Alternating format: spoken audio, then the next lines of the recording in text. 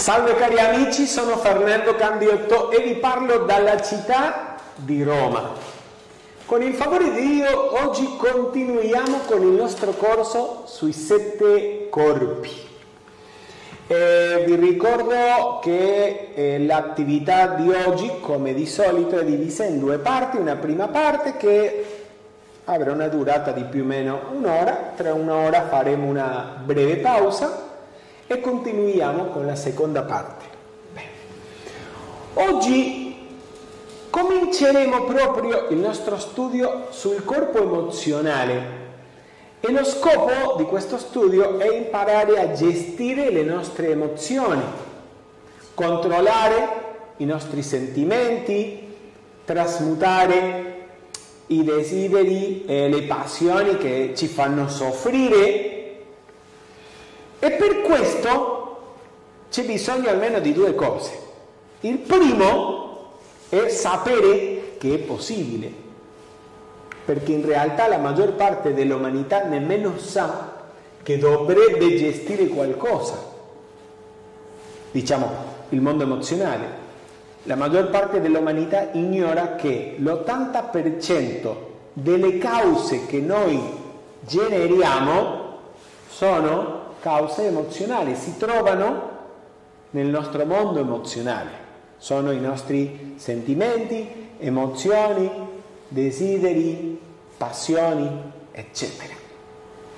Il secondo è conoscere le leggi che controllano il mondo emozionale, che sono diverse da quelle che rettano il mondo fisico. Ditemi voi ora, che leggi noi conosciamo che controllano il piano fisico o rettano il piano fisico? La legge del mentalismo. No, la legge di mentalismo controlla il mondo mentale. Parlo di leggi fisiche. Ah, la legge della gravità. La legge di gravità o di gravitazione. Altre? Altre leggi? La legge centrifuga. La legge centrifuga, la legge per esempio di eh, conservazione dell'energia, è una legge fisica che viene studiata dai scienziati e anche eh, noi abbiamo almeno una conoscenza diretta, pratica. Le leggi dei, dei, dei movimenti, della La legge della forza. Ecco, noi sappiamo per esempio che per spostare, magari non abbiamo una conoscenza intellettuale, non, non ricordiamo ciò che abbiamo studiato a scuola eh, di fisica molto, no? Ma almeno sappiamo che per spostare questo bicchiere che è fermo occorre applicare una forza. Quello è una conoscenza pratica, non intellettuale, una conoscenza diretta che abbiamo acquisito da bambini. Ecco, bene. E sappiamo che dobbiamo applicare una forza perché la natura della materia fisica è l'inerzia. Le cose, se tu non applichi una cosa, non si muovono da sole. È una cosa che è in movimento, in modo che si fermi, deve anche applicarsi una forza contraria. Ehi, tu stai guidando le macchine in modo che la macchina si fermi, devi... Come si di- dice? Ecco, mettere il freno. Invece nel mondo emozionale è del tutto, del tutto diverso, la materia emozionale si muove, è in continuo movimento. Nel mondo emozionale, nel piano emozionale, la legge di gravitazione non c'è, non esiste. Invece c'è un'altra legge, quella di attrazione e repulsione. O potremmo parlare di due leggi gemelle, attrazione e repulsione. La natura della materia emozionale è quella di attrarsi, attrarre quello simile. Due sentimenti che hanno un oggetto, eh, che sono simili o che hanno lo stesso oggetto, diciamo un desiderio, due desideri di una stessa cosa, di una stessa persona, per natura si attraggono. Ma quando dentro il sentimento o il desiderio o l'emozione c'è un contenuto di rifiuto, entra anche in azione, mette, quel rifiuto mette in azione la legge di repulsione. Quando questo accade ci sono due forze diverse e opposte agendo, attrazione e repulsione. E questo fa in modo che questi sentimenti si distruggano Perciò nel piano astrale il male non può crescere continuamente perché il male attrae il male e distrugge se stesso. Vedremo durante la lezione come agisce questo in modo pratico e come noi possiamo con questa conoscenza applicata in modo pratico gestire le nostre emozioni. Va bene? Andiamo avanti. Quindi qual è la legge del piano astrale? Attrazione e repulsione. Molto bene, andiamo avanti.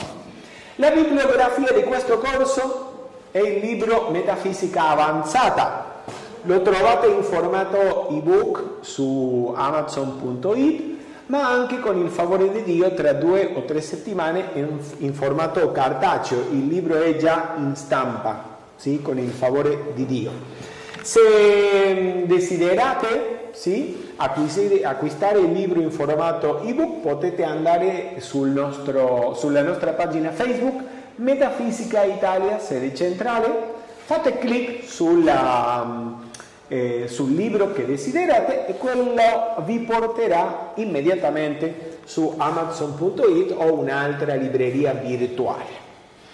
Andiamo avanti, faremo come di solito un ripasso di ciò che abbiamo imparato, hm? eh, le conoscenze fondamentali di questo corso. Prima di tutto, come è rappresentata la costituzione umana nell'immagine della presenza io sono? Trina. Ecco, è in modo trino, l'essere umano viene rappresentato come un essere trino. Qual è quella trinità? Allora, e ho un'altra? Io sono, eh, io sono, io sono eh, Cristo interno, Cristo interno personalità. e personalità. Molto bene, presenza io sono o spirito.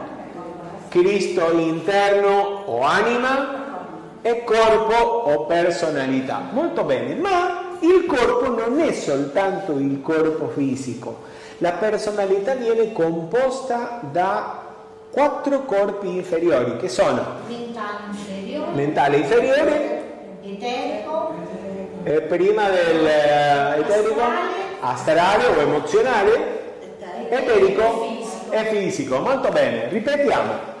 Mentale inferiore, astrale, eterico e fisico. Di nuovo, la Costituzione umana, secondo l'immagine della presenza io sono, è presenza io sono o spirito, Cristo interno o anima, personalità o corpo. La personalità è composta dal corpo mentale inferiore, astrale, eterico e fisico. Molto bene. Vediamo in quest'altro diagramma anche raffigurata la personalità in un modo un po' diverso ricordando che questi quattro veicoli inferiori si trovano tutti qui.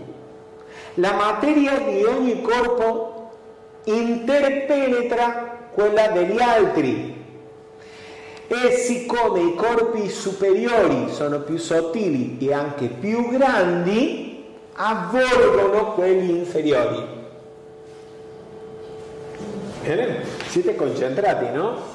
Ok, andiamo. Ricordiamo, il corpo più denso di tutti e il più piccolo, piccolo in apparenza è il corpo fisico. Fatto di cosa? Ossa, carne, sangue, ma se andiamo alla lezione dei piani, ci sono i tre stati della materia più densi a comporre So- solido, liquido e gassoso. Ecco, il solido, le ossa. E il liquido, il sangue, ecco, e il gas, il gassoso, l'ossigeno, l'aria dentro i polmoni, ecco, molto bene. Dopo c'è il corpo eterico, che il corpo eterico viene chiamato anche doppio eterico, perché uguale al corpo fisico, ma fatto di pura energia vitale. Come viene nutrito? Da cosa viene nutrito il corpo eterico? Dal, dal prana. Dal prana, molto bene. Che cos'è il prana? La Energia. L'energia vitale, il, il- prana è energia vitale. E come assimila da dove prende quel prana il corpo eterico? Dal sole. Ok, da uno, uno. Prima dal sole. E in modo che possiamo. come, come assorbe quel- quella, quell'energia, quel prana? Che cosa dobbiamo fare? Prendere sole. Prendere sole, eh sì, perché te- se tu ti nascondi e sei sempre de- dentro la casa, dentro una grotta, alla fine non prendi molto prana solare, capisci? Devi prendere un po' di sole quando si può. Ecco, non troppo, ovviamente. Dopo, un altro modo?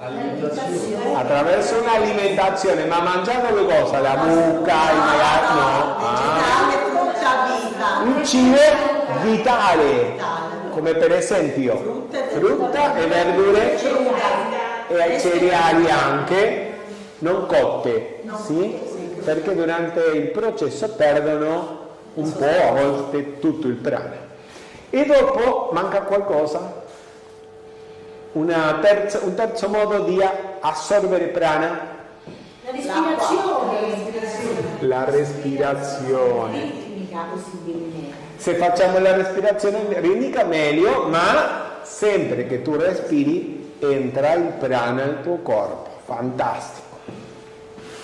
E dopo il corpo emozionale che è un ovoide più o meno e anche il mentale un ovoide ancora più grande.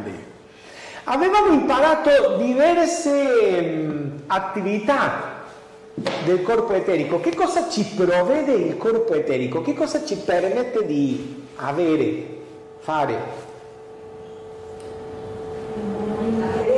Ti dà la memoria il corpo eterico. Un'altra cosa? Crescere. Crescere. Perché? Perché assimila gli alimenti ed espelle ciò che non serve. La, la, La ripro- permette la riproduzione e E che cosa? Le funzioni vitali del corpo. Funzioni vitali, la circolazione del sangue è qualcosa che è molto importante che ci permette di fare contatto con il piano fisico. I sensi. I cinque sensi, ecco, quali sono i cinque sensi la vista, del corpo fisico eterico? la vista, l'udito, Visto, vi dirò in, or- in ordine. La In, vista. in- in ordine secondo, secondo il più antico, andremo dal più antico al più nuovo. Udito. l'udito, L'udito è stato il primo senso a svilupparsi. Il secondo, il il tatto. tatto dovuto dalla pelle. Il terzo, la vista. Il quarto, il gusto. E l'ultimo, L'olfatto. di nuovo, udito, tatto, vista, gusto e olfatto. Sì? Perciò l'olfatto è il meno sviluppato dei nostri cinque sensi. Andiamo avanti. I sette piani, ricordiamo la definizione. Magari alla fine del corso, del corso abbiamo eh, memorizzato questa definizione. Vedremo. I sette piani sono differenti, leggiamo insieme, sono differenti stati della materia che in accordo con la propria vibrazione sono organizzati dal più denso fino al più sottile. Ognuno di loro ha un'estensione, uno stato di coscienza determinato, caratteristiche che lo differenziano dagli altri. L'essere umano ha un corpo in ogni piano, molto le abbiamo, eh, tra le differenze di cui parla questa definizione ci sono le leggi. Sì? Co- così vi ho detto che la legge di gravitazione agisce nel piano fisico, invece nel piano astrale è quella di attrazione e repulsione. Fantastico. Beh, ricorderemo ora il nome dei sette piani, dal più sottile fino al più denso, più alto al più basso, adico, monadico, atmico, buddico, mentale, astrale e fisico. Di nuovo, adico, monadico, atmico, buddico, mentale, astrale e fisico. Sì, ricordiamo che questi sette piani si raggruppano in due parti, superiori e inferiori. Qua- Quali sono i piani superiori? Da adico a budico. Adico, monadico, atmico, buddico e mentale superiore. Perché si fa questa differenziazione? Perché? Questa divisione Nell'età inferiore parliamo del corpo fisico. della personalità. Ecco, e cosa accade? Allora, sì, nei piani inferiori, cioè mentale inferiore, astrale, fisico eterico, che cosa accade nei piani inferiori che non succede nei piani superiori? C'è la legge di gravità. La gravitazione soltanto si esprime nel piano fisico. C'è un'altra differenza perché parliamo di piani inferiori e superiori. Perché dal mentale superiore si parla di spiritualità. E che cosa La accade? perfezione c'è. Eh? C'è la perfezione. Ecco, non si può esprimere nulla che non sia la volontà di Dio dal mentale superiore in su. Invece, dal piano mentale inferiore in giù, accade, c'è di tutto. Sì, si può esprimere in perfezione ma anche in perfezione.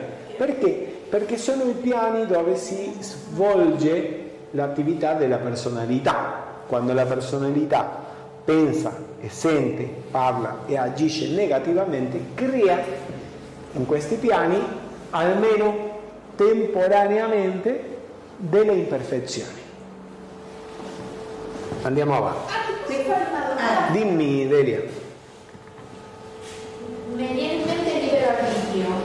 In questo caso, eh, siccome dal mentale superiore in poi già si manifesta il Cristo, uno già alla prima, la prima iniziazione. Sì. Quindi c'è anche un libero arbitrio dal piano superiore in poi o già è una con la volontà? Il problema non è il libero arbitrio dal mentale superiore in su. Ciò che accade è che piano nel piano mentale superiore comincia a percepirsi l'unità. Ancora si riesce a osservare le differenze e la separazione, ma eh, sopra uno sfondo di unità. E quindi tu, quando hai coscienza cristica, cioè coscienza mentale superiore, non sei capace di fare del male a un altro perché è come farlo, farti il male a te stesso. Non ha senso. Capisci quello? E lo stato di coscienza così elevato che sei incapace di danneggiare un'altra persona, un altro essere. Sì? Il problema qui dal mentale inferiore eh, verso il piano fisico è che crediamo, la coscienza quando si muove lì, crede di essere qualcosa di separata dagli altri. E perciò le persone pensano, ah, posso rubare comunque, mi approfitto e mi prendo quel denaro. E non si rendono conto che in realtà non stanno facendo nulla, si stanno danneggiando se stesso. Sì? Si capisce? Ok. Scusa una cosa. È una questione di, di coscienza, di, consape- di consapevolezza. E come si può capire che si ha una eh, consapevolezza superiore? Ok.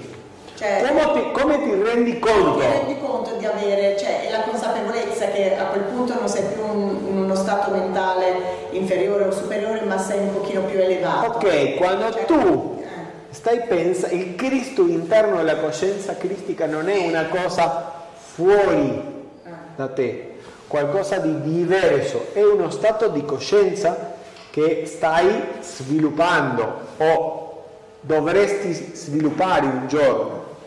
Quando tu pensi in modo positivo, senti in modo positivo, parli di cosa- cose buone e fai il bene, tu ti trovi in uno stato di coscienza cristico.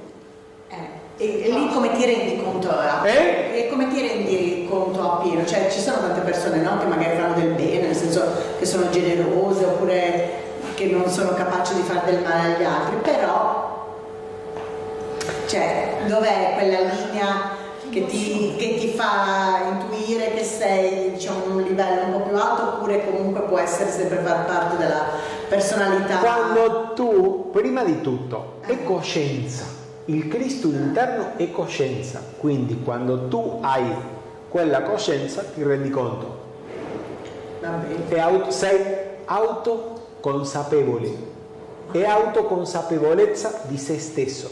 Non ti Sì? neanche aspettative. Ok.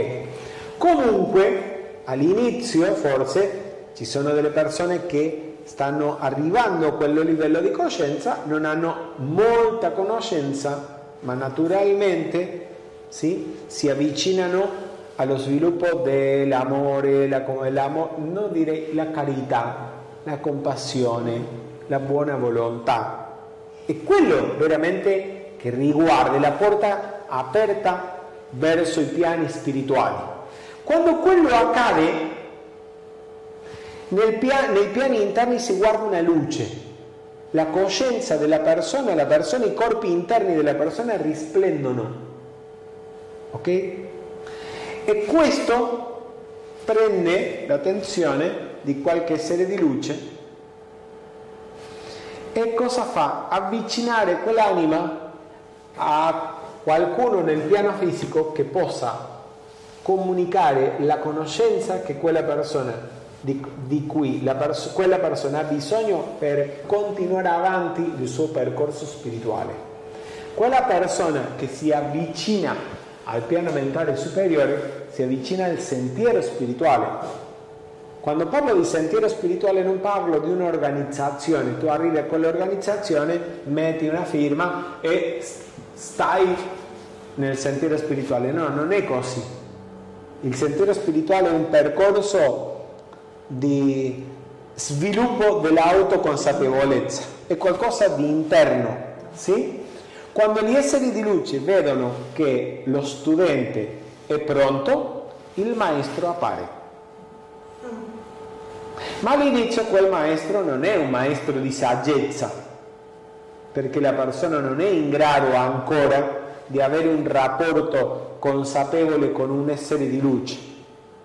Che cosa fanno gli angeli del, del piano divino di perfezione? Avvicinare quella persona sia a un'altra, ossia a un gruppo dove possa ricevere, imparare l'insegnamento di cui ha bisogno per continuare avanti il suo percorso spirituale. È chiaro? E questo Ok. maestro può essere anche calato diciamo, in una persona come Una- un essere di- umano normale. Un facilitatore di metafisica o qualcosa del genere. O a volte può essere ti avvicina, ti, ti avvicina un libro all'inizio, cominci studiando con un libro e dopo trovi qualcuno che ti possa spiegare come metti in pratica quell'informazione. Ok. Andiamo avanti? Sì. Bene.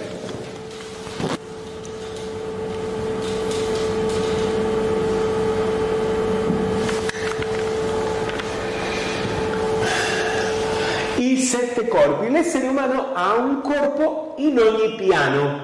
Ricordiamo, nel piano monadico c'è la presenza io sono, il nostro spirito che non, non può scendere da quel piano di vibrazione, ma può fare scendere un raggio di luce, un raggio di energia e di coscienza e così in ogni piano inferiore costruire col tempo lungo uno schema di evoluzione, un giorno dovremo studiare che cos'è uno schema e come si svolge uno schema di evoluzione, e costruisce un corpo in ogni piano. In questo modo, attraverso ogni corpo, lo spirito può, usando i sensi di ogni corpo, contattare la materia di quel piano, imparare a controllarla, avere esperienze e con quelle esperienze espandere coscienza, perché in realtà tutto il processo di evoluzione non è altro che espandere coscienza. Sì? Ok. Ricordiamo, nel piano annico abbiamo quindi un corpo atmico, nel piano buddhico il corpo buddhico, nel cor- piano mentale superiore il corpo mentale superiore conosciuto anche come corpo causale. Nel, nel piano mentale inferiore un corpo mentale inferiore che sarà il prossimo corpo a studiare da noi. Il corpo astrale oppure corpo emozionale è l'argomento della lezione di oggi e di quella prossima. E il corpo fisico eterico è stato l'argomento delle lezioni precedenti. Domande? Sì, Vieni. quando tu dici la presenza io sono alla monada non, non può scendere, ehm, tu fai riferimento a che la vibrazione degli altri piani che non permettono un'espressione completa quel... come... Quella coscienza della presenza, eh, la presenza io sono, sentite questo, la presenza io sono, il nostro spirito nel piano monadico è onniscienza. Cioè, tuo spirito nel piano monadico, nel piano spirituale è onnisciente, onni, onnipotente. E onnipresente. Ecco. Ma da, nei piani armico, buddhico, mentale, astrale e anche il fisico non sa nulla, è inconsapevole, impotente, incapace di nulla. Qual è lo scopo dell'evoluzione? Che lo spirito diventi anche onnisciente, onnipotente e onnipresente in tutti i piani. Noi siamo lo spirito incarnato, la prova è quel corpo. La prova quando c'è un corpo nel piano fisico significa che c'è uno spirito incarnato, individualizzato in quel corpo umano, ma ancora sta sviluppando le qualità che si trovano in potenza dentro di sé. E ha sviluppato abbastanza, ha fatto tanto, sì? ma ancora deve sviluppare ed esprimere tutto il potere, tutta l'onniscienza, l'intelligenza, l'amore, la purezza, la salute, la perfezione, che è la natura dello spirito nel piano spirituale. Sì? Quello, quello è l'obiettivo della vita, non di questa, di tutta di tutto il samsara, di tutta la ruota delle reincarnazioni. Che cosa unisce i sette corpi? Che cosa unisce i corpi siano inferiori che superiori con la presenza di io sono? Ecco il cordone argentato, molto bene. Il cordone argentato che cos'è? Leggiamo. È lo strumento composto di materia sottile che unisce il corpo fisico, eterico, astrale e mentale con Cristo è interiore e la divina presenza io sono. Dove è ancorato il cordone argentato all'interno del corpo fisico? Nel cuore, nella fiamma. Nel cuore, ma dove? Nella fiamma. sinistro, nella fiamma. Sì. Ventricolo sinistro. Nel ventricolo, ma che cosa c'è nel ventricolo sinistro? Eccolo, l'atomo maestro fisico, l'atomo maestro fisico dove si ancora il cordone argentato e sorge la fiamma triplice. Ricordiamo che cos'è l'atomo maestro fisico, tutti. Si trova nell'apice del ventricolo sinistro del tuo cuore e controlla tutte le tue funzioni biologiche. Molto bene, ricordiamo un po' che cosa fa l'atomo, a che cosa serve l'atomo maestro. Ogni corpo ha un atomo maestro.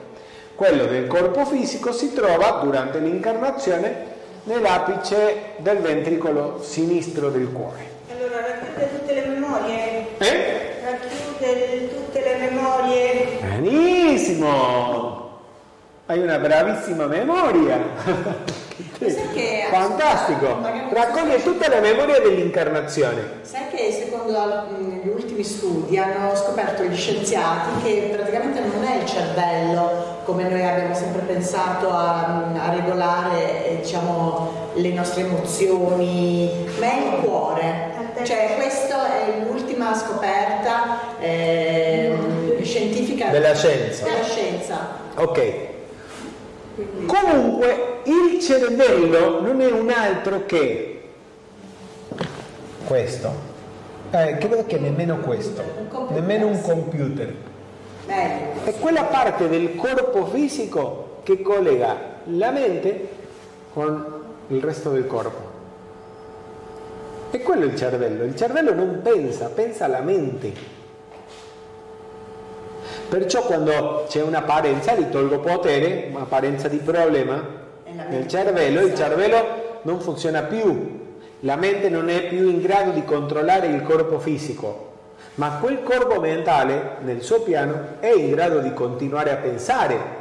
Magari è, è come dire, come dirti, tu sei chi guida la macchina, condut- eh, quello che guida la macchina, L'autista. sì, l'autista, ecco, se magari il motore non funziona più, non vuol dire che tu non sei in grado di, di guidare una macchina, tu continui a, a non soltanto a guidare la macchina, a fare tante altre cose, ma quella macchina non puoi guidarla più perché non serve il motore. Lo stesso accade, noi siamo il Cristo, il Cristo è l'autista e questo semplicemente una macchina, il corpo fisico una macchina, non più. Ma non soltanto il corpo fisico, ma anche il corpo emozionale e il corpo mentale sono parte della macchina. Noi siamo l'autista. O come diceva San Francesco d'Assisi, noi siamo in realtà il jinete, come si dice? Quello che va sopra un cavallo, un asino. Chi cavalca? Sì, sì, il fantino, il fantino. Cavaliere. Il cavallo, noi siamo il cavallo, ecco, noi siamo il cavaliere. Sì, veramente. Il corpo, la personalità è l'asino. Nemmeno un cavallo. Di solito un semplice asino. ok, atomo maestro contiene, ricordiamo, contiene l'insieme di istruzioni necessarie per formare un corpo. Un corpo. Quando mm, quell'atomo maestro, quando arriva il momento di incarnare, gli angeli del piano divino mettono quell'atomo maestro dentro uno spermatozoo del nostro padre. E quel spermatozoo è l'unico in grado di fecondare un ovulo. Sì? Ok, bene. Dentro il corpo che cosa fa? Dentro il- l'ovulo fecondato, quell'atomo maestro comincia a vibrare e magnetizzare materia del corpo della nostra mamma, mamma che ha una frequenza vibratoria simile a quella della nostra anima, in modo di creare il corpo che ci corrisponde per diritto di coscienza. Mm? Perciò anche la tua mamma ti appartiene o è tua mamma per corrispondenza.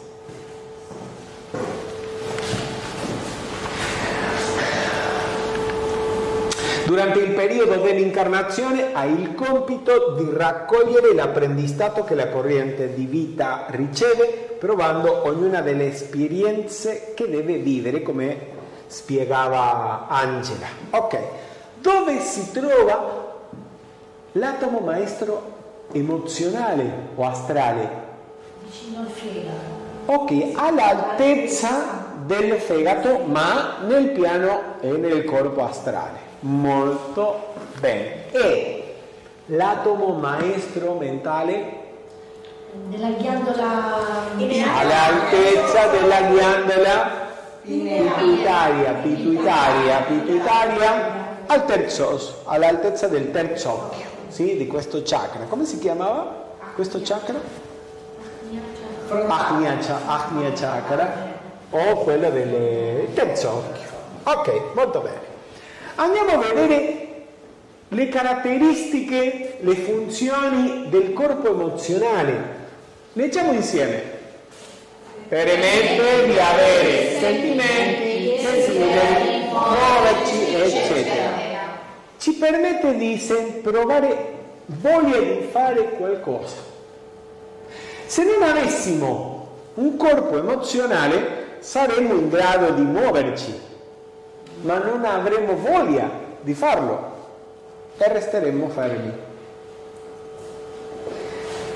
Saremo soltanto un corpo fisico vitalizzato dal corpo eterico, ma senza desideri, senza Desideri. sentime- desideri, senza motivazioni emozionali, non facciamo nulla.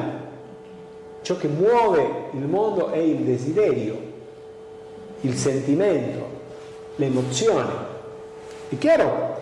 Quindi ditemi voi che regni della natura non hanno corpo emozionale. Le rocce, le, le, Le rocce non hanno, il mondo minerale non ha Non energia. corpo emozionale, ecco, nemmeno ha corpo eterico. Un altro regno che non ha corpo emozionale, vegetale. i vegetali neanche hanno delle emozioni e perciò non girano, non si muovono. Eh? Anche i pesci. No, i pesci hanno, si muovono, sì sì. sono anche vertebrati, quindi Ecco, il regno animale ha corpo emozionale, sta infatti sviluppando le sue emozioni, le loro, le loro emozioni, e il regno umano ovviamente. Andiamo avanti.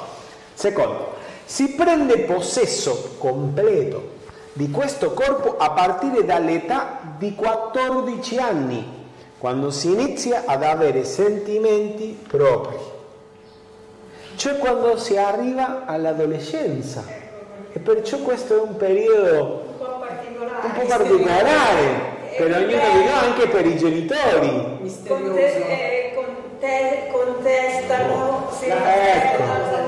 dice tu che dici questo perché perché mi hai detto così perché devo fare così Perché?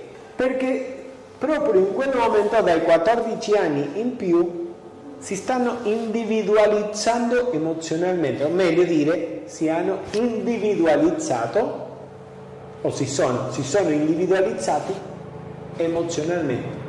Sentite bene, noi nasciamo, il corpo fisico nasce il giorno della nascita. Mm?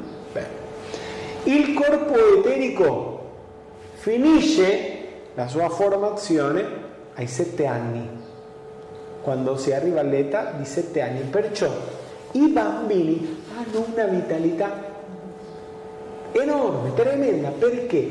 Perché il loro corpo eterico è parte del piano eterico del pianeta. Hanno la vitalità della natura, come gli animali. Ok, e così chi ha avuto dei bambini sa, in quell'età eh, ti stancano veramente, no? Fisicamente. Ok. Dopo il corpo emozionale finisce la sua formazione ai 14 anni. Fino a quel punto il bambino assorbe le emozioni mm, e gli atteggiamenti sia dei genitori, della famiglia o delle persone con cui è cresciuto. Sì? E dopo, non subito, ma mano, mano a mano cominciano ad avere pro, dei propri desi, desideri, Desideri. desideri, grazie, dei propri desideri, i propri sentimenti, piace questo, non piace l'altro, e a volte i genitori fa- facciamo fatica no? a capire questi ragazzi che non si capiscono ne- nemmeno loro. Ma il problema sarebbe che continuassero, continuassero a dire di sì, sempre. In realtà è naturale, così deve essere. Loro devono sviluppare i, propri, i suoi propri sentimenti e a volte semplicemente ti dicono di no oppure che non piace questo per eh, dimostrare una differenza, per staccarsi dalle tue caratteristiche, non più. Sì? Ok, l'importante è saperlo. Dimostrare la propria individualità. La propria individualità, il proprio carattere diverso dal tuo. Mm? Ok, la materia astrale è mutevole e plasmabile all'azione del pensiero. Ciò che noi pensiamo, sentite bene, ciò che noi pensiamo immediatamente crea una forma nel piano mentale. Ciò che si chiama forma pensiero oppure archetipo mentale, un'immagine mentale. Se io ti dico pensa a tua, famiglia, a tua figlia maggiore, o ti parlo di ti dico Federica per esempio, tu hai un'immagine di lei, persino puoi chiudere i tuoi occhi e vedere, guardare chiaramente quell'immagine. Quello non è Federica o tua figlia, è semplicemente un archetipo mentale che tu hai creato di lei.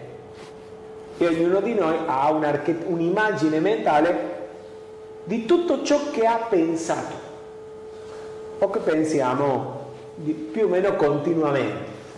Bene. Ciò che noi pensiamo non soltanto crea un'immagine mentale, ma quando viene aggiunto il sentimento crea anche una forma nel piano emozionale che è sovrapposta a quella mentale.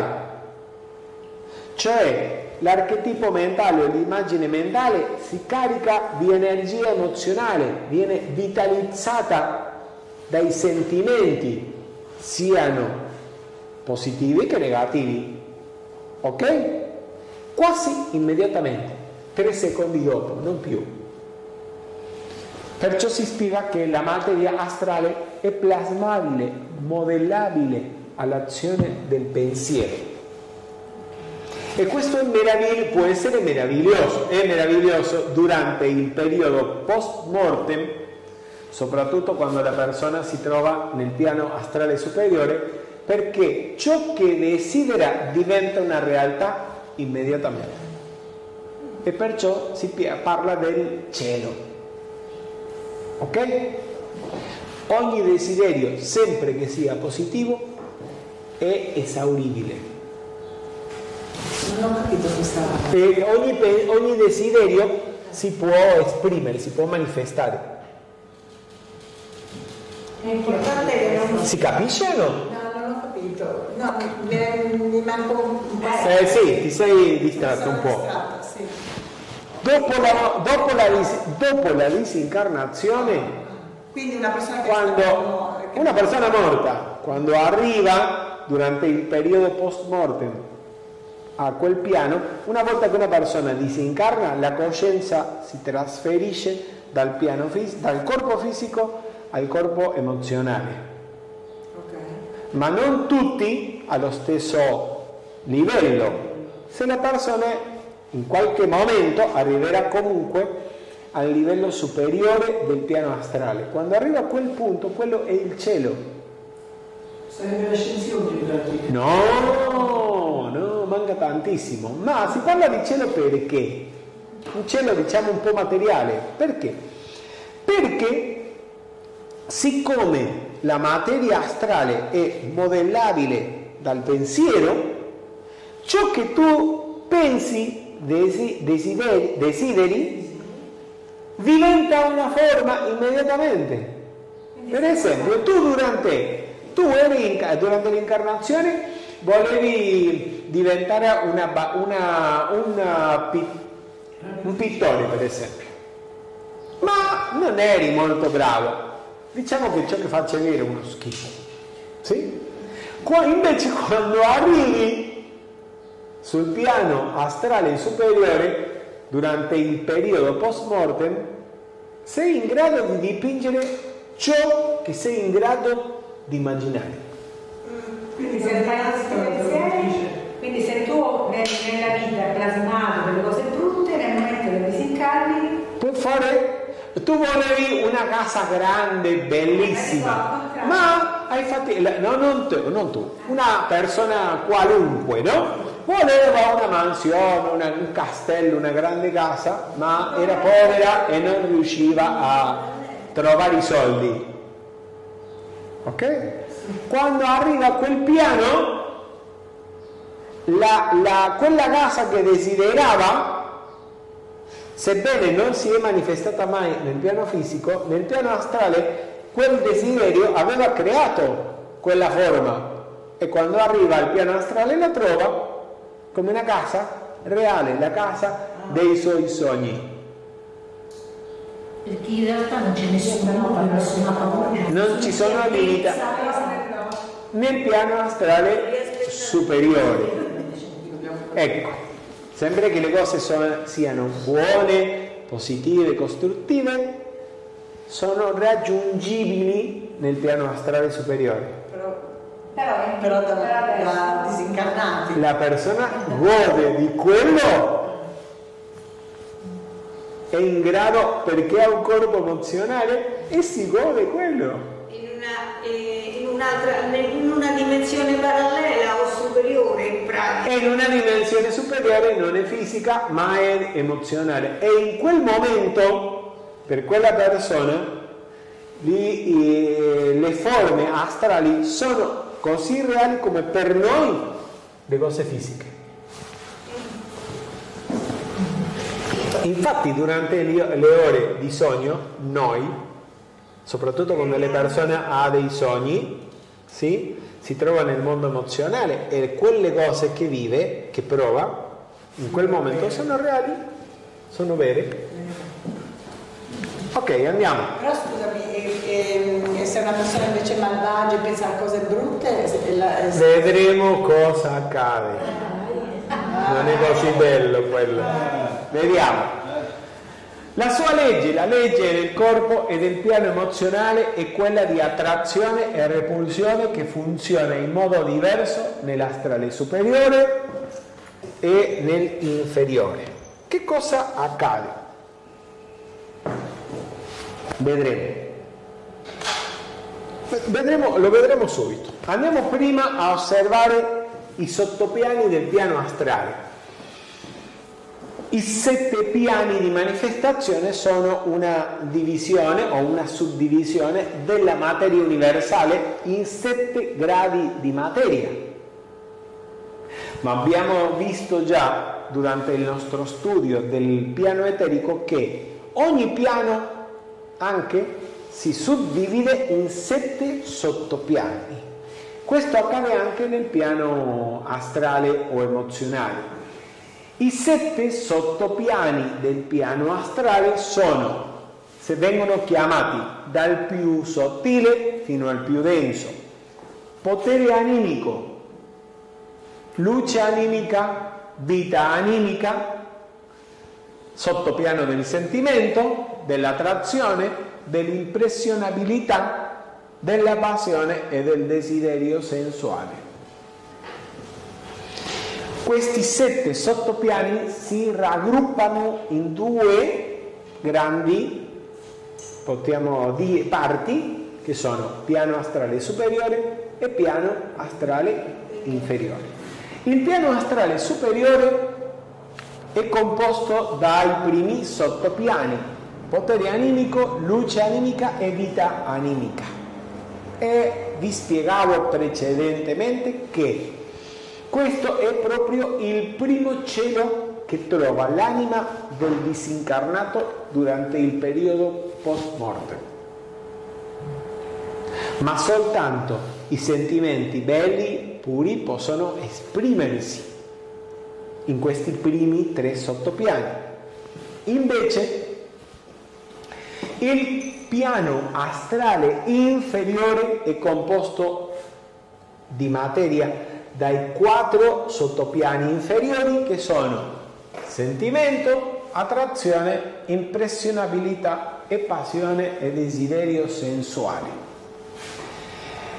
Questa, questo piano astrale inferiore è ciò che viene chiamato il purgatorio, per non dire inferno a volte, ma non, si, non parliamo di inferno perché in realtà l'inferno sarebbe uno stato di coscienza negativo eterno. Invece non c'è niente di negativo che possa essere eterno in tutto l'universo. Grazie a Dio, no? Fortunatamente. Perciò parliamo di purgatorio.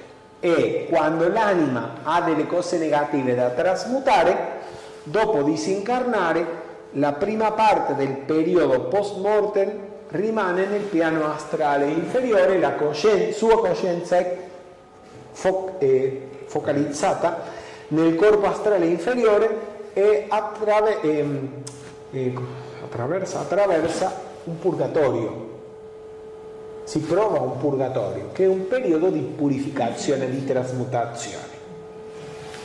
Non sarà l'argomento di oggi, ma più avanti quando faremo la lezione di cosa succede dopo la morte parleremo di questo.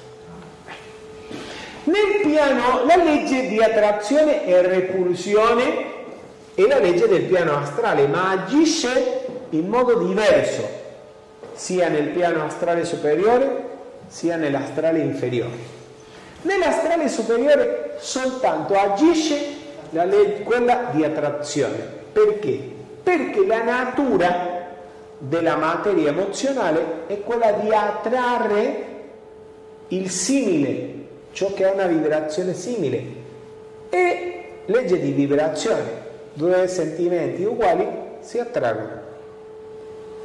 E in questo modo il bene i sentimenti puri, buoni, crescono eternamente.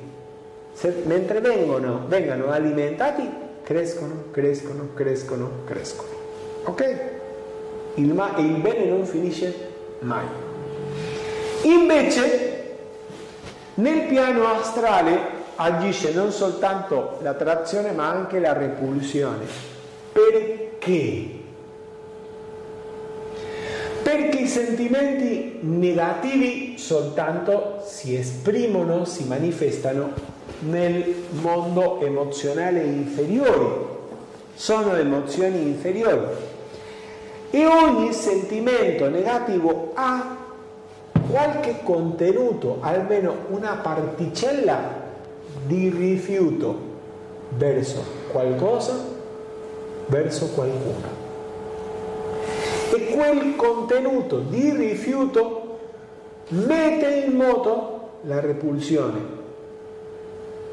Più negativo è il sentimento, più rifiuto c'è, più agisce la legge di repulsione e in questo modo i sentimenti negativi si attraggono ma anche si disintegrano si, dis- sì, si, ripel- si ribellano, si può dire come sarebbe? Repellono, si repellono. Si ripellono, re, re. Si repellono e in questo modo il male distrugge se stesso. Vediamo in modo pratico come agisce questo? Ok, vediamo in modo pratico. Bene, vediamo qui nel piano astrale inferiore purgatorio, troviamo le creazioni umane più grossolane, odio, invidia, depressione, paura. Queste sono descrizioni che fa un famoso eh, metafisico Leadbeater, Charles Leadbeater, ha dei libri fantastici, un libro che si chiama proprio Il corpo astrale e fa una descrizione di come si vede per esempio il corpo astrale di una persona ehm, co- che sta provando colera, irascibilità e diversi sentimenti negativi, anche i sentimenti positivi. Ok? Bene, andiamo. Che cosa accade? Siccome la natura dei sentimenti è quella di attrarre il simile, per esempio, le persone che hanno un interesse comune si attraggono e formano un gruppo. Un esempio, noi, un gruppo di persone che, a cui piace la metafisica, ci mettiamo d'accordo e facciamo una riunione, un incontro per parlare di metafisica. Così un gruppo di persone, per esempio, che amano la musica, creano un gruppo di musica, cantanti, un gruppo di opera, magari un conser- fondano un conservatorio anche. E un gruppo di ladri si cercano tra di loro. Ecco, che sono? Che cosa fanno? A, che cosa piace a un gruppo di ladri? A persone che... Eh, andare a rubare. Andare a rubare. Non lavorare, invece rubare il denaro e le proprietà di altri. Ecco, come hanno lo stesso interessi, si attraggono e creano una banda di ladri, una banda di rapinatori. Ecco, e forse rubano una banca, diciamo, una casa, palazzo, eccetera. Li tolgo potere poi. Ma che cosa accade dopo? Siccome loro continuano a pensare a quello, che dopo dice e perché devo condividere questo bottino con gli altri? No, voglio prenderlo tutto e magari qualcuno prende tutto e fuggi e gli altri, eh, quello si è portato i miei soldi mm, e alla fine si ammazzano a vicenda. Quello è attrazione e repulsione. Quindi praticamente il male wow. Quindi il male eh, che si attrae si il male si distrugge. distrugge. se stesso. Un po' come la matematica che il meno per meno dà il positivo. Dà un più. Ecco è vero. È un po', un po' così.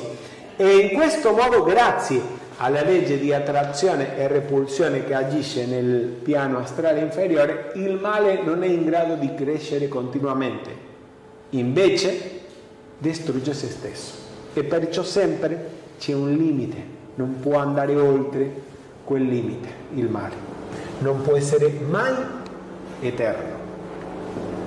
Avete visto per esempio questa serie? La serie Narcos? Mai? No. Ci sono anche, anche altre serie che raccontano un po' la storia di questi cartelli di narcotrafficanti. Pablo Escobar, Eh? Di Pablo Escobar, no? Ecco, ecco, sì. Fiamma violetta e legge del perdono.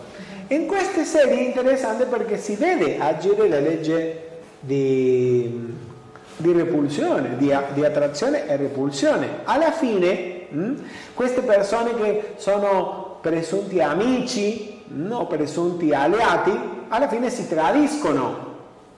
Nessuno ha fiducia dell'altro e infatti usano l'intimidazione, la minaccia, la paura per assicurarsi una, la fedeltà, perché non c'è un altro modo.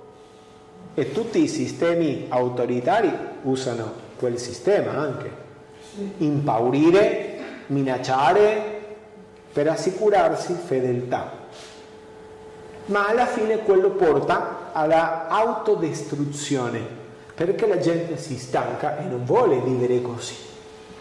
O magari un altro dice, e perché? Perché lui è il capo del cartello? Anch'io posso.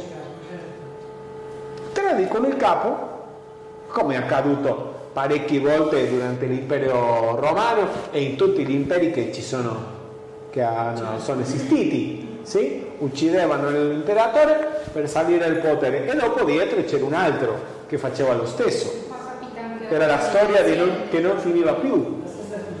Eh? Anche nel mondo economico, nelle aziende importanti, può essere una cosa di tutti i giorni, quando i tuoi sentimenti o i tuoi valori non sono d'accordo con quelli dell'azienda, ti dà la perfusione o no. Ora vi chiedo, che facciamo per pulire questo? La fiamma violetta. Bene, ovviamente possiamo fare la fiamma violetta per trasmutare le creazioni negative che troviamo nel mondo emozionale, i nostri, eh, i nostri propri sentimenti negativi, egoistici, sì? Tutti insieme. Io sono un pilastro di fiamma violetta, trasmutatrice, che consuma e risolve tutti gli errori commessi da me e da tutta l'umanità. Grazie, Grazie Padre. Bene. Ma c'è un modo, un altro modo semplice mettendo in pratica questa conoscenza della legge di attrazione e repulsione che ci permette di trasformare, trasmutare sentimenti brutti. Cambiare il sentimento. Cambiare il Questo sentimento per legge della polarità è la sostituzione sostituire un sentimento negativo e mettere l'attenzione sul sentimento positivo opposto perché si deve fare questo? Perché non litigare con l'odio? Perché non litigare con la paura? Perché non litigare con l'invidia fino a distruggerla? Perché nel piano fisico non mi, pia- non mi piace questa bottiglia, sì? la distruggo. Ma nel piano astrale non funziona così. Le cose, la cosa. Perché? perché si possono creare qui anche nel piano astrale materializzare Come? L'emozione negativa no per legge dell'attrazione Se tu vuoi, eh, sì, eh, quindi ok. noi attraiamo quello che pensiamo di negativo Ecco, quindi se tu cominci a litigare contro il tuo sentimento di non voglio essere odiare e cominci a litigare, c'è un conflitto dentro te. A cosa stai pensando? Stai dando la tua attenzione. Stai dando la tua attenzione e, la tua, e persino la tua perché c'è un rifiuto verso l'odio. E abbiamo visto che il rifiuto è un sentimento negativo. Sì. C'è qualche sentimento negativo di- dentro, dietro il rifiuto.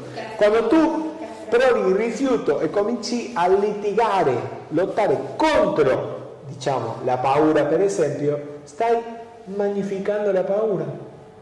Diventa più grande, più grossa.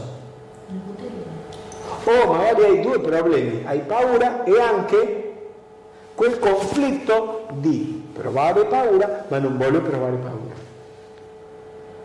Quindi che cosa bisogna fare? Ma guardi, lavori, da concentrarsi sul coraggio, che è il posto della paura. Diciamo che provi timore o provi odio. Eh, Quella persona che io odio questa, la mia ex moglie, odio questa donna, eh, sai che? E continuo a odiarla. Quella persona sta generando odio, ma dentro se ancora non c'è un grande conflitto. Invece, se tu cominci, io provo odio verso questa persona, ma voglio- non voglio odiare e comincio a litigare, sentire per esempio senso di colpa, ho due problemi. Prima l'odio e secondo il senso di colpa e continua a ingrandire, magnificare il male. Invece Invece l'indifferenza. Una- un modo sarebbe l'indifferenza, ma forse togliere l'attenzione di quello non sia così, fa- così facile. Il più facile è proprio fissare l'attenzione sul sentimento positivo opposto, Quindi contrario. Capite? Se hai paura o timore, concentrarti, meditare sulla fede, la forza di volontà oppure la protezione, dipende. Mm? Eh, oppure sulla saggezza, l'intelligenza. Se provi odio, ti manca la tolleranza, sviluppare la tolleranza, l'amore, non pensare più all'odio.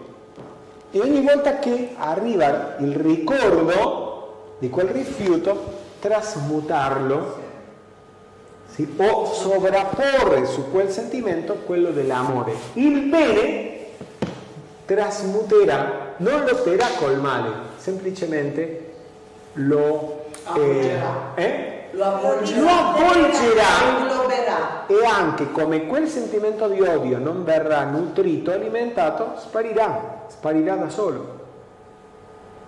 Perché capite una cosa, i sentimenti non esistono per sé, sono una creazione nostra, abbiamo, abbiamo creati questi sentimenti provando quel sentimento. Quando noi non continuiamo a provare quel sentimento, muore di fame. E persino se invece generiamo il, se- il sentimento contrario, il processo di, affama- di- di affamare, morire, eh, far morire di fame il sentimento, viene- si accelera. Ma si riferisce al pensiero forma in sé che è stato... Ecco. ecco. No, è anche il sentimento. Quel Il sentimento è, è sempre collegato a un'immagine. ha un'immagine. Quindi È non un'immagine? uno odia l'odio, uno in realtà perché personifica il ha sentimento. un'immagine e quell'immagine viene caricata con il sentimento. È un pensiero forma che ha pensiero e sentimento, un sentimento negativo. Che cosa facciamo? Sovrapporre un sentimento positivo. Andiamo a un esempio. Quindi scusa una cosa, quindi una dovrebbe partire dal presupposto di dire tanto non esiste niente. Cioè, cioè, se, cioè, ehm, se tutto è un pensiero, no? quindi gli diamo noi il sentimento, se se sia positivo o negativo, alla fine dobbiamo anche pensare che allora mh, tutto ciò che si prova può essere anche inesistente. E cosa pensi? No, magari cioè, Magari hai scoperto una cosa. eh, quindi è, un- è il frutto anche del nostro pensiero. Cioè quello che noi pensiamo ovviamente è frutto del nostro pensiero, ok? Quindi collegato alla sensazione che diamo. Ok. Per poter eliminare questi, mh, diciamo, queste sensazioni, cioè dobbiamo anche entrare, avere consapevolezza che non esiste. Infatti, no, non esiste. Questo- cioè adesso magari è un po' non esiste nel senso che non esiste possiamo rendere che non esiste da per sé, da per sé. è stata creata e siccome noi l'abbiamo creata noi possiamo anche distruggerla. eliminare. Ok. Ma il modo di distruggere un sentimento o un'immagine mentale non è litigare. No. Quando tu stai litigando stai mettendo la tua attenzione e Certo. quindi stai nutrendo infatti. Certo, lo alimenti ancora di più. Il modo è lasciarlo morire di fame. Ok. Togliere la- spostare l'attenzione e fissarla su qualche argomento che sia positivo. Ok. Perché no? E quello che hai detto e che hai capito in, quel mo- in questo momento è un prima e un poi. L'ho capito, io l'ho capito. Ah, Angela, Infatti quello che non capisco, da- datemi un attimo, sì? quello che nel senso che uno sia un soggetto e quindi c'è la forma pensiero associata e si prova appunto di insomma, sentimenti poco piacevoli, quindi inizialmente bisogna mh, spostare l'attenzione su un'altra cosa che ti dà comunque amore, Ecco, no? Cioè, oppure perché sennò diventa uno sforzo nel, nel associare amore magari a una determinata persona. Invece no, bisogna spostare, quella la cosa, spostare l'attenzione su un'altra cosa. tu puoi trovare diversi metodi per riuscire a sviluppare questo amore, diciamo se è amore ciò che, ciò che serve, no? Ma un es- ti do un esempio che impariamo in metafisica, io l'ho usato e funziona, Eh, serve. Sì? Che questo, per esempio, un ex coppia che ti ha lasciato, un ex socio che ti ha tradito, per esempio. Dito lo potere, ma diciamo che accade questo. Che cosa fai? Ovviamente, come diceva Delia, c'è un'immagine associata a un sentimento di rifiuto, sia malinconia, odio, rancore, rabbia, eccetera. Quell'immagine è sorta nel momento oppure dopo che hai scoperto ciò che è accaduto. Bene? Quindi, cosa puoi fare? Una cosa che puoi fare è sovrapporre a quell'immagine il sentimento d'amore o di perdono. All'inizio ovviamente non proverai un grande amore, Oppure, forse. oppure la ma la buona volontà di perdonare è il primo passo. Puoi visualizzare quella persona e per esempio affermare io ti avvolgo Sì. con il mio cerchio o il mio circolo di amore divino o con la fiamma ti avvolgo con la fiamma violetta o ti do il mio amore e il mio perdono. Provate a farlo questo funziona. Che ovviamente se da tre mesi cinque anni stai eh, diciamo periodicamente pensando cose negative hai alimentato in modo parecchio quel pensiero forma con sentimenti brutti. Non è un lavoro di un giorno trasmutare, ma forse dopo un paio di giorni, di settimane, forse mesi, riesci a cancellare Si quel sentimento. Eh? Si va a neutralizzare il sentimento. E non è fare uno sforzo, perché non stai facendo uno sforzo, sì uno sforzo positivo di fare la visualizzazione. Semplicemente ogni volta che arriva il ricordo, arriva l'immagine, ti avvolgo con il mio circolo di amore divino. Facciamo il trattamento. Ti avvolgo nel mio circolo di amore divino. Grazie Padre. E riuscirai a trasmutare il sentimento. Faremo ora una, pic- una breve pausa, 5 minuti, e dopo continueremo con altri esempi. Sì? E quello che voglio, vo- vorrei che vedessimo è come ogni sentimento negativo ha un contenuto di rifiuto. Per esempio, quando c'è rabbia, odio, rancore, rifiuto verso che? C'è rifiuto Sì, nel sentimento? al bene. Forse al bene, rifiuta al bene, cioè, Al bene. cioè quando una persona è arrabbiata non può... Questo uomo è arrabbiato con chi? con la moglie, quindi non può pensare... Il rifiuto è verso, La donna. verso quella persona. È un sentimento.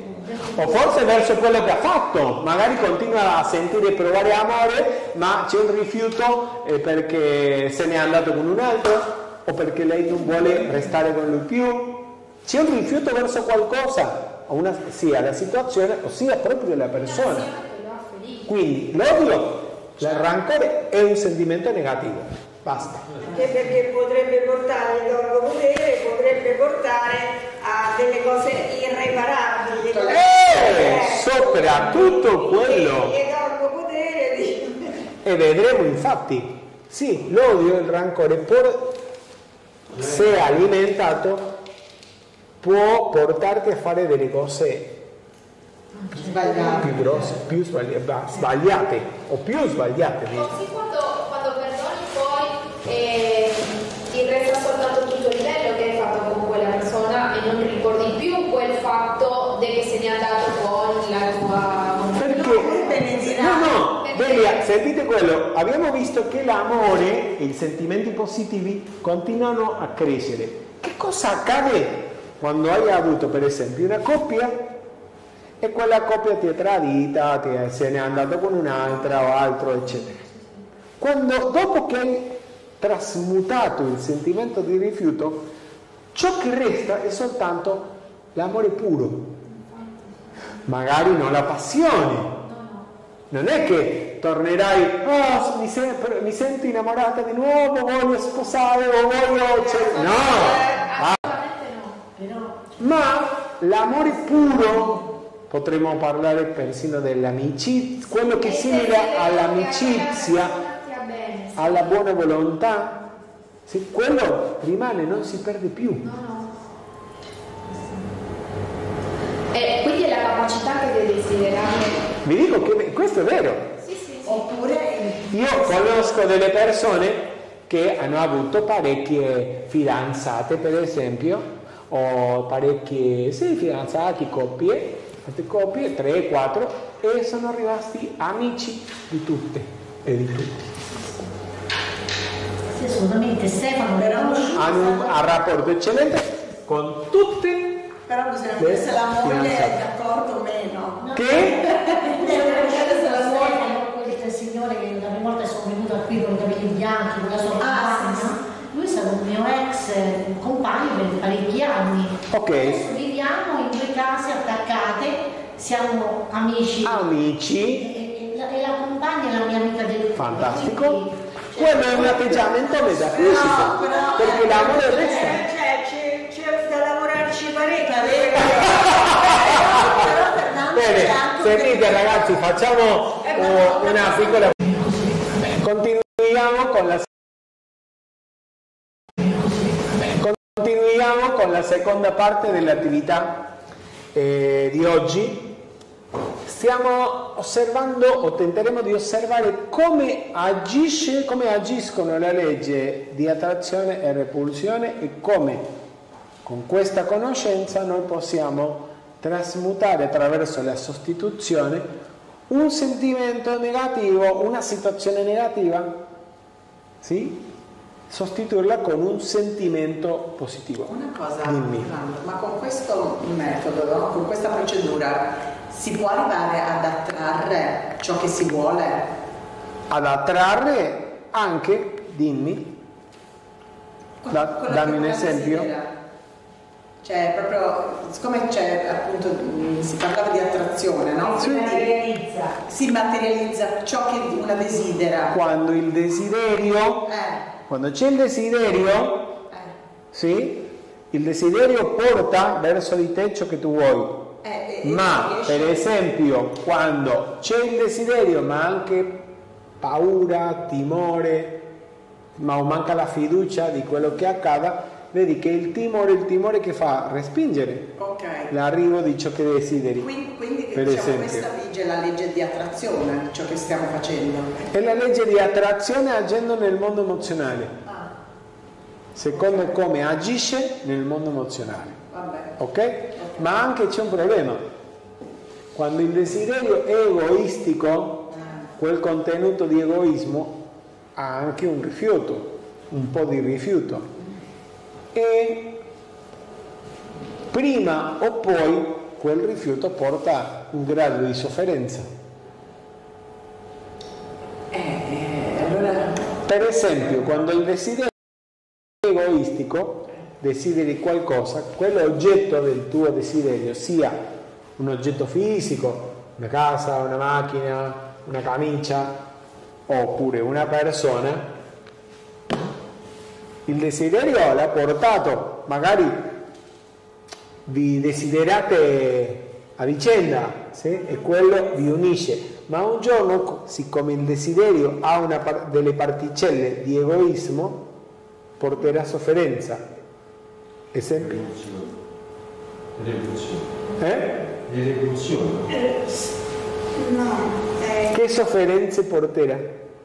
Quando il desiderio o il sentimento ha egoismo.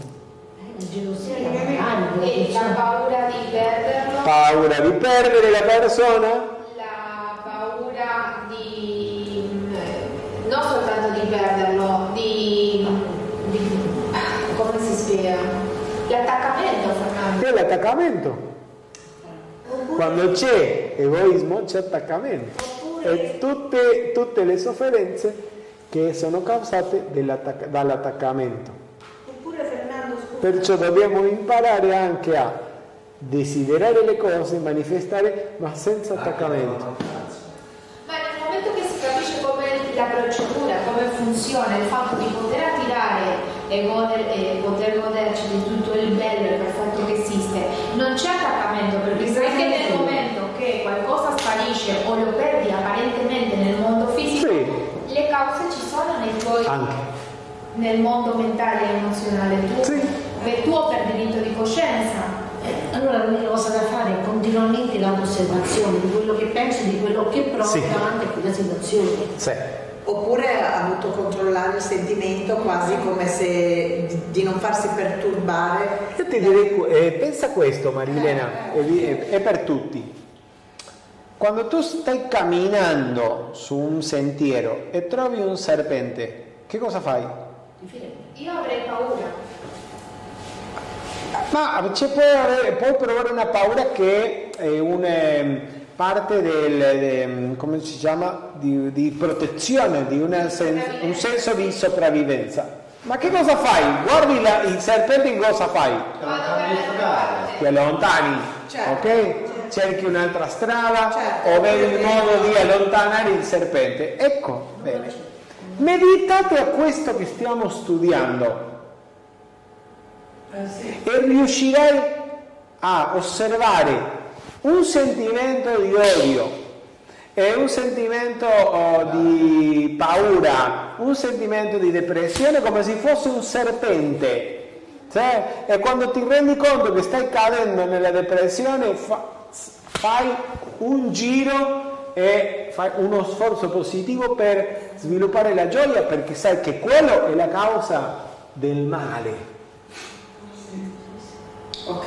O quando stai provando attaccamento, dice, non continuerò in questo sentiero perché finirà male. Ecco, per esempio, vediamo che cosa sta provando questo uomo. Invidia. Invidia. Cosa serve per provare invidia? Che cosa devi pensare, fare per provare invidia? Volessi avere quello che. L'invidia è desiderare ciò che ha un altro, vero? Ma perché questo uomo desidera questi palloni, palloncini che ha l'altro? Perché lui ce l'ha uno e ce l'ha il bianco. Ecco, che cosa sta facendo? Stava facendo un paragone. Sta facendo un parangone. E quel parangone è reale? No, No, lo sta facendo lui con la sua mente. Quindi se lui non facesse quel parangone, non facesse un contrasto, non ci sarebbe la invidia. Quindi l'invidia sorge quando continua- continuamente stiamo facendo un parangone, un confronto tra ciò che ho e ciò che ha lui oppure lei. Quindi scusami, E soprattutto per guardare quello che mi manchi, credo mi manchi. E allora anche diciamo un, un modo per, per alleviare le sofferenze è non pensare. No, non Oggi è obbligata questa donna. Cercare di non pensare. Sono due cose che ha detto. Il problema è pensare. Eh, quindi non bisogna pensare. Se tu chi non... Bisogna pensare quando serve pensare e quando non serve pensare non pensare. Perché la mente è la creatrice delle menzogne. certo. La mente è chi crea la sofferenza.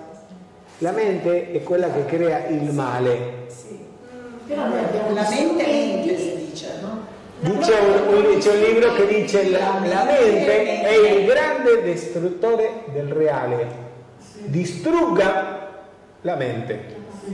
Ma quello non è distruggere proprio, è controllare la mente, usare la mente quando serve e quando non serve rimanere in silenzio. Eh, Infatti nelle meditazioni non la puoi controllare, non la devi controllare la mente. Eh? Nelle meditazioni la mente non la devi controllare perché poi il carino Puoi osservare. lo osservi e Ma vedremo, perché la mente, come i sentimenti, non si può controllare tentando di fare uno sforzo. Abbiamo visto che facendo uno sforzo stiamo alimentando sia il pensiero sia il sentimento. Invece ciò che si può fare è osservare quello senza rifiuto e senza attaccamento oppure usare la sostituzione che all'inizio è più facile, più semplice. Spostare la, la, l'attenzione e fissarla su un argomento piacevole, positivo. Mm? Quindi, che cosa vedete? Il maestro San Giovanni dice, dice: La gelosia e l'invidia sono una porta aperta a tutti i tipi di attività distruttive. Per esempio, a che cosa porta l'invidia? Dove può portare l'invidia? A commettere dei delitti, a commettere qualche delitto. A qual- commettere qualche ruba- gli tolgo potere, ma no. Rubare, ammazzare qualcuno, sì, Odiare. odiare, è tutto il sinonimo di sofferenza, è proprio sofferenza. E abbiamo visto che l'invidia ha un contenuto di rifiuto, spiegava eh, Gregorio. E rifiutare che cosa? Che lui ha più palloncini da me, in questo caso, di me. C'è un rifiuto. Ecco, sarei felice se invece avessi io mm, questo più palloncini di te. No, e poi la differenza è che quel signore sorride e lui invece no. Se- potrebbe essere anche un altro metodo di fare un sorriso. Dopo, questo diventa un'abitudine emozionale e alla fine magari quando lui riesce ad avere più trova una terza persona che ha ancora di più e continua a soffrire perché ha l'abitudine di confrontarsi con gli altri e sempre c'è qualcuno più povero o qualcuno più ricco. E poi abitua, abitua anche la propria persona a pensare in quel modo, perché a volte i nostri pensieri non sono altro che l'abitudine di uno stile, mm, di, no di vita, però è un, un modo di fare quotidianamente. Diventa anche I, un'abitudine. i sentimenti che eh, sono parte del nostro carattere sono abitudini emozionali. Quando sono negativi bisogna fare uno sforzo per cancellare quell'abitudine. Quando diciamo questa persona è invidiosa, è gelosa, che, che ha l'abitudine di provare quel sentimento. Sentimento. Fa qualcosa con la sua mente continuamente o periodicamente. Bene, che cosa possiamo fare? Un modo di trasmutare questo è invece benedire l'opulenza, per esempio, il, successo di quella persona. Invece di provare invidia per questa persona, proverò a benedire la sua intelligenza, i suoi talenti, la sua opulenza, per esempio, e così rimpiazzare l'invidia per la, come direi, generosità, e, e l'essere felice per il successo eh, degli altri. Ecco, E anche lui si deve concentrare e fare lo sforzo per raggiungere i suoi obiettivi, perché in realtà una persona che invidia non ha obiettivi propri. Perché se lui avesse degli obiettivi propri sarebbe concentrato Sugli in obiettivi. o forse, forse il suo oggettivo è avere questa ricchezza. Ma se continua, il problema non è quello, il problema è l'abitudine Di di pensare. confrontare, paragonarsi con gli altri. Quello è il problema. Il problema non è voler essere ricco, il problema è voler essere il più ricco. Il problema non è io voglio diventare un attore, per esempio. Il problema è io voglio diventare l'attore più famoso. Eh, perché Quello tu- diventa Eh un sì. problema perché sempre starai Eh, sempre dici litigando, quando io litigando mentalmente con gli altri. Eh, se tu dici più famoso perché c'è qualcuno che vuoi essere sopra. Ecco, Qualcun altro. ecco. Comunque nella fisica c'è la storia del... Bene, Non abbiamo fatto il decreto. Ah. facciamo il decreto. Dio benedice i tuoi talenti e le tue. Grazie Padre. E che cosa stanno facendo? Stanno litigando per il business. Per il business, per esempio, forse hanno due aziende, ognuno ha un'azienda simile, sì? E che cosa litigano perché? Che cosa Per vogliono? prendere i clienti, per prendere Per il mercato, per essere il numero Ho uno. aperto questo supermercato, sì? E sei mesi dopo apro un altro e provo una grande angoscia, magari perderò i clienti, comincerò a avere dei problemi, non potrò pagare. Quindi l'invidia può essere anche una forte paura. Paura può essere anche coscienza di povertà. In questo caso, per esempio... Non avere coraggio di fare una cosa e quindi eh, proiettarla sull'altro. No, è possibile. Che l'altro possa fare meglio, quindi E il ragazzo perché non conosce le condizioni del, del mercato o di come lo ha fatto e non ha fiducia. Oppure una legge, c'è una legge che si chiama domanda e offerta. Secondo questa legge di, doma- di domanda e offerta, se in, st- se in, un quartiere ci sono due supermercati è perché ci sono clienti per entrambi i supermercati. E non devi provare paura né preoccupazione. E puoi infatti trasmutare il sentimento di paura, o di invidia, eccetera, affermando Dio benedice il tuo successo. È un po' diverso da quello che la gente fa. Eh, no? Perché è come se diciamo, molte persone hanno paura di togliersi via qualcosa, cioè nel benedire gli altri hanno paura di perdere loro sì. quella, cioè psicologicamente quella cosa. E quello, e quello, e quello porta la persona a provare paura, la paura attira verso la persona ciò che è la causa, sì? se ha paura di, della povertà o di fallire, sta attirando verso di sé il fallimento e anche sta maledicendo l'altro con i suoi pensieri, a volte anche con le parole. Per legge di causa ed effetto. Quello tornerà indietro e porterà la rovina. Alla fine si sta facendo del male. Il meglio che può fare è benedire il bene. Benediciamo il bene. Che cosa prova questa ragazza? Gelosia, gelosia, eh? gelosia. Mal di testa! Guarda dietro! Gelo- forse gelosia, no? Gelosia, sì. Ok, forse gelosia, oppure un amore non corrisposto, sì? Magari gli stanno andando tutte le parole. C'è rifiuto nella gelosia? C'è Certo. rifiuto? Certo. Certo. Che cosa rifiuta? C'è il Il disinteresse C'è un conflitto, ma qual è il conflitto? Che- che l'altra Eh no, che cosa rifiuta quella ragazza? La pace, la ragazzo non la vuole tranquillità. più. Eh? Quel ragazzo non la vuole più. Rifiuta il fatto che il ragazzo preferisce un'altra, oppure l'ha lasciata per un'altra, oppure non la vuole, Non E la anche c'è. sente Non ha un interesse. tempo invidia per quella che ha scelto il suo ragazzo. può essere anche, no? Oppure no. Bene, c'è rifiuto, quindi è un sentimento Eh, negativo. infatti, Scusa, magari- questa è una. Infatti, a volte quando ci sono queste gelosie, non è tanto poi il fatto che il ragazzo o il marito l'abbia lasciata, ma diventa più una competizione tra la nuova compagna di, insomma, del fidanzato che ehm, con se stessi, cioè proprio nasce più una E competizione. a volte viene l'uomo giustificato in quello che ha fatto e la cattiva è lei, per esempio. Sì, sì, non lui che ha tradito, per esempio, la fidanzata, la moglie, eccetera.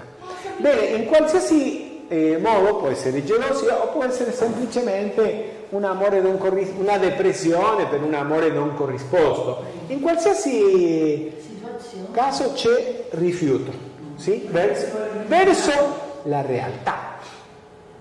E c'è un conflitto con la realtà. Non c'è l'accettazione della situazione. Ok, che cosa facciamo? Bene, diverse cose. Una può essere rinunciare, capire che è un conflitto con la realtà, infatti no- non c'è un'altra che non pensare più a quello, perché non serve a nulla. È come dire, io vorrei che questa camicia fosse verde, non sarà mai verde, è blu, basta, o celeste. E, normaliz- no- normalizzare il fatto che se una persona non è felice con te ha il diritto di essere felice, come- siccome uno ha il diritto di essere Ecco, felice. ecco. Però anche Anche benedire quell'unione se è positiva. Per- per esempio inviare un pensiero positivo a quel rapporto. Ma rinunciare a qualcosa, eh, siccome noi, magari la maggior parte delle persone no, mm, crescono con l'idea che il sinonimo di rinunciare significa sconfitta. Quindi a, a quel punto il fatto che una sa che deve rinunciare, però mm, in automatico scatta anche questo senso di sconfitta e anche la, la, Ok. la sensazione di Sì, sconfitta una sì, sì, è vero. Ma comunque ti dico una cosa, Eh, siccome la quella ragazza, tu, io, Cinzia, tutti noi, siamo ar- arrivati da soli. Quando siamo nati eravamo da soli. Ce ne andremo da soli. da soli. Alla fine il tuo marito, i tuoi figli, la tua casa, il mio computer sono nostri. No, No, Niente ci appartiene. Alla fine, dovre- se non rinunciamo prima, avremo una grande sofferenza e dovremmo rinunciare dopo. Quindi è meglio psicologicamente capire questo e goditi i tuoi figli, il tuo marito, eh, la camera, il computer, ma senza attaccamento, consapevole che questo Rimani qua. rimane qua o se ne andrà prima. Affermiamo, ti lascio andare, io sono libero e tu sei libero. Benedico il bene nel vostro amore. E aggiungerei, benedico il bene in questa situazione. Magari ti stai liberando sì, e quello che viene è qualcosa di meglio. Bene, questo uomo che cosa sta provando? Paura, timore. La paura il timore ha un contenuto di rifiuto? sì, Sì. Verso? verso la situazione che gli sta creando. Che, che non, che non è desiderata, no? Ecco, verso una situazione, una, una situazione non desiderata. Può essere personificata da una persona, ma è una situazione. Il problema è che il timore attira ciò che si teme. che si teme, mm? perché a cosa pensa la persona impaurita? Al, al negativo, negativo, Sì. di conseguenza attrae quello e ciò che tu pensi e senti, lo attrae, si manifesta come. ecco, si manifesterà prima o poi. Quindi dobbiamo trasmu- prima capire questo, che il modo di liberarsi dal timore non è continuare a temere, nemmeno rifiutare il sentimento di timore, deve essere eh, sostituito da un sentimento per esempio di Coraggio. coraggio, valore, fiducia, eccetera. Tutti insieme. Io sono la forza, il coraggio, il potere di migliorare attraverso ogni esperienza, qualsiasi essa sia, e resto allegro, sollevato, pieno di pace. e armonia in ogni momento, per la gloriosa presenza io sono. Grazie Padre. Condanna e rifiuto, e condanna e critica, per esempio la critica. Al rifiuto ha un contenuto di rifiuto. Ovviamente, verso, verso la persona, verso la persona criticata o la o, le qualità o la situazione o le qualità per- della persona, vorrebbe magari che fosse diversa, no? avesse un carattere, un atteggiamento diverso a quello che ha. Ok, e bisogna anche trasmutare quella, quell'abitudine terribile, una delle più Peggiore, Comuni. peggiore. No, Ah, Di avventure, cioè più solite che eh sì, Ma anche se possiamo collegare la nostra attenzione, vuol dire che noi riconosciamo un simile fuori da noi. spiegami.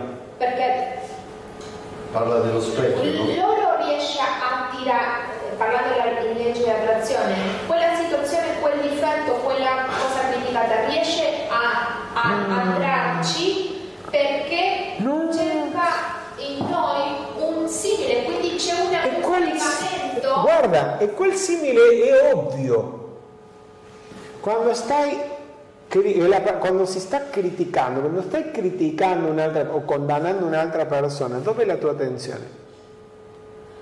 Sulla critica, sulla critica di quella cosa. Sulle, sulle caratteristiche di quella persona. E che cosa fa l'attenzione? Te lo, atti, te lo attrarre, te lo, te lo... Stai tu cominciando a provare? Certo.